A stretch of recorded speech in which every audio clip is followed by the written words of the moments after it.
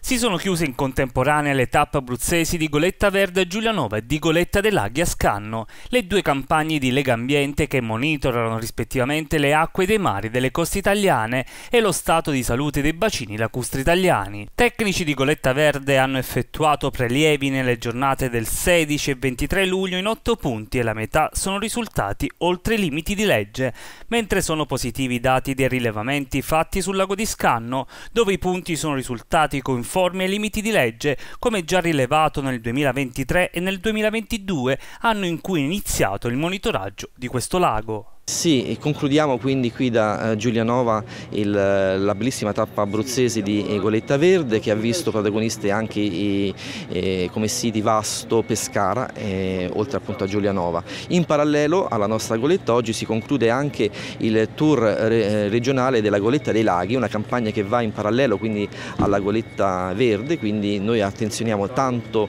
il paesaggio costiero e le acque marine, tanto anche le acque interne dei laghi e infatti in questo momento si sta concludendo concludendo la campagna proprio al lago di Scanno. La qualità delle acque per quanto riguarda i nostri, i nostri parametri, eh, quelli che abbiamo monitorato, quindi nei siti a mare e in, corrispondenza delle foci, presentano un peggioramento rispetto allo scorso anno. Quest'anno abbiamo eh, su otto campionamenti effettuati lungo il litorale eh, un peggioramento eh, perché abbiamo quattro situazioni di criticità, quindi di sforamento oltre i limiti previsti dalla legge. Questo sforamento però avviene soprattutto lungo le foci dei fiumi e questo significa che evidentemente c'è un problema di eh, scarsa scarsa depurazione, bisogna andare a implementare il sistema fognario, il sistema di depurazione e soprattutto controllare gli scarichi abusivi che sono spesso alla base di questo fenomeno. Dunque grande soddisfazione per il premio delle 5 vele per il lago di Scanno, mentre bisogna fare di più sul fronte della tutela del nostro mare e dei corpi idrici superficiali, che quest'anno sono risultati avere il 50% dei punti monitorati oltre i limiti di legge.